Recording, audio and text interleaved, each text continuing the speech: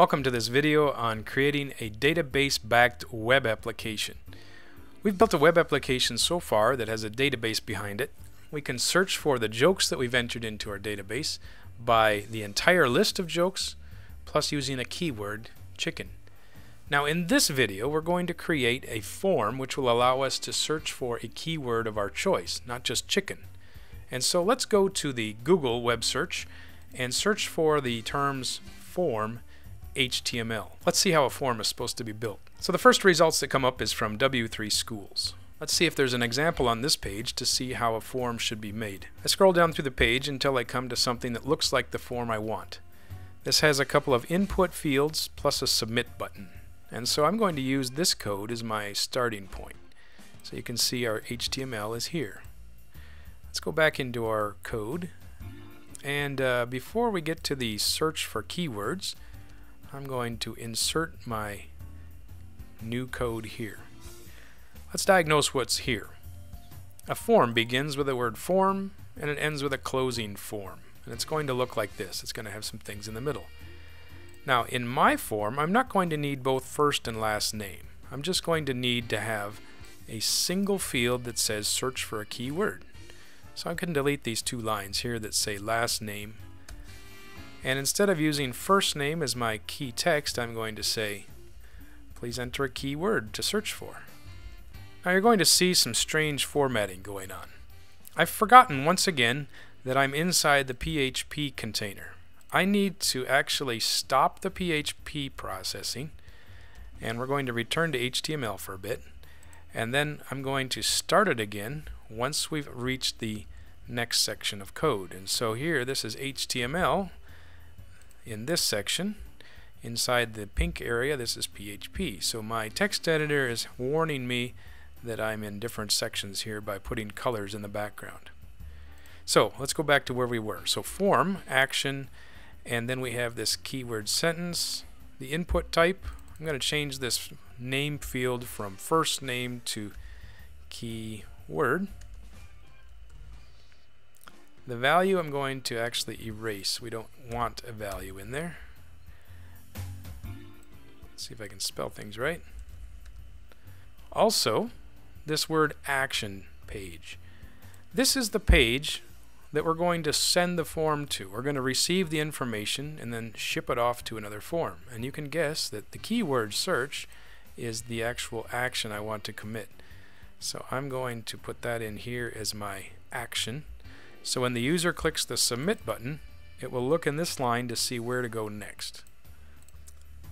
I'm also going to comment out this line here for searching for all jokes and then down here I'm going to comment out this line so that they don't execute. So let's run the program see what we get. So now we have a simple jokes page. It says enter a keyword. So I'm going to search for the word frog for instance and search. Now I get an error.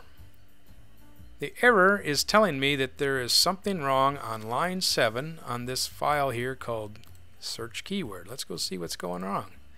So search keyword was this file here, line 7. Line 7 is we're trying to make a connection or trying to find something in this thing called MySQLi. So to fix that, we could just make an include up here and tell it to include the database connection and that will make a connection before it tries to do any searching. Let's see what happens here now. Let's go back, type in the word frog, and submit it. This time we have two results. They're not searching for frog, it's still searching for chicken. However, you notice something in the top of the page. It says here, keyword equals frog. So this wasn't there before, this question mark. And the reason why it's there is because it came from a submitted form. Now all we have to do is take this word that was submitted in our URL and replace it in here. Instead of saying go search for chickens, now we need to go search for the keyword right here. So next we want to capture this keyword, frog. How do we get that? The keyword is given to us in the URL because it was submitted by a form. Well, there's a way in PHP to capture that. And so let's go to our Google searches and find out how that works. In Google, I'm going to search get form PHP or something like that, get form variables. And then we're going to find something called the uh, PHP 5 form handling. There's going to be all kinds of help on the pages. This is a real common thing that people search for, but we'll just take the first results. I'm going to scroll down the page and we're going to find something about two functions. One called get, another one called post. So a little ways down the page we have this example. We have something that has get and then a field name. That's exactly what we want to use here. So I'm going to copy this and come back to my example here. So I'm going to create a new variable. I'm going to say keyword from form. And that's going to equal this get thing. It's the get of the keyword that was entered into the top of the form. So I'm going to see if this actually comes out correctly. Let's save it. Let's go back to our web server. I'm going to leave this URL up here that says keyword equals frog and just refresh it. And you can see the first thing that came out on the page was the word frog. So it appears that we're actually capturing this value from the URL. Now how do we put that variable into here? Instead of chicken, I want to have this variable name. Well, let's do a little bit of a string magic here. Let's delete this. Inside here we're going to put a double quote and a period and then another double quote with another period. That means we're gluing strings together. Inside here we can put another string. Well, actually the string we want is this variable. So let's copy that and paste it over to here. And so now it's going to use this word keyword from form instead of the word chicken. Let's save this, refresh the page once more, and now we have jokes number 7 and number 9. It says, What happens to frogs when the cars break down? And so it's searching and finding the word frog. I'm going to take out this echo on line 5 because that was just for testing purposes. So now we have a, a working form. Let's back up one page here till we get to our jokes page and try other things. How about playground? There's one on playground. I don't remember if there were any others. When?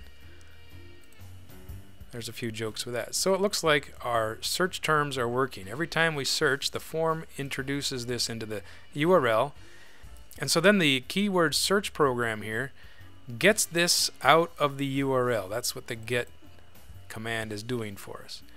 And we're able to use it in our form search and show it on the screen. It looks like we need to add one more thing. It still says chicken in our H2 title, so it says search for where chicken is. Let's change that to the word keyword from form. And let's save that and see how it works. When? Well, let's see if we can do another one. Let's try frog. And submit. And there it is, showing all the keywords frog. Okay, so that pretty well wraps it up. We've got ourselves a search function that's working. It's pulling data out of the database. The next part is we're going to have to create a data entry form now so we can add new jokes and actually write data to the database. And that's coming up next in our next video.